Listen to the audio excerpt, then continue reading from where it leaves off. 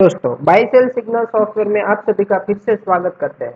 आज हम एनालिसिस करेंगे निफ्टी का टेन डे का डिलीवर पोजिशनल ट्रेड कैसे होता है। हमारे एक क्लाइंट ने बोला है कि निफ्टी का टेन डे का पोजिशनल ट्रेड है, वो कैसे रहा, वो दिखाइए। आज उसका वीडियो बनाने जा रहा है।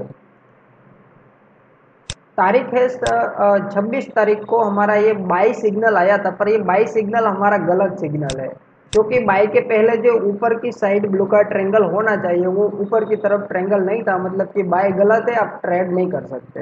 बाद में आया है सेल सिग्नल तारीख है छब्बीस सत्यावीस तारीख, और सेल के पहले देखिए तो एक नीचे की तरफ़ ट्रेंगल बना हुआ है। मतलब कि सेल है, वो कंफर्म है, और डेफिनेटली नीचे जाएगा।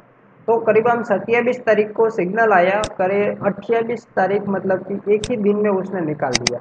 काफ़ी सारा मूवमेंट दिया one zero seven five nine से लेकर करीबन वो नीचे आया है दस पाँच सौ छब्बीस छियासी वन फाइव एट सिक्स काफ़ी नीचे मार्केट आया था करीबन बाद में आया बाई सिग्नल ये आया है दो तारीख को बाई सिग्नल के पहले उसने एक ऊपर की तरफ़ ब्लू का ट्रेंगल लगा दिया मतलब कि बाई सिग्नल है वो कंफर्म है और डेफिनेटली ऊपर जाएगा दो ही तारीख को सिग्नल आ गया one zero six four three पर बाई सिग्नल आ गया और अभी भी वो कंटिन्यू चल रहा है। आज तारीख है छः तारीख को ख़त्म हुआ मार्केट और अभी भी बाई में है। करीब का, काफ़ी मार्केट ऊपर गया करीबन डेढ़ सौ दो सौ पॉइंट ऊपर चला गया। दो बार उसने अगले दिन चार तारीख को भी होल्ड करवाया पाँच तारीख को भी होल्ड करवाया और छः तारीख को भी होल्ड करवाया।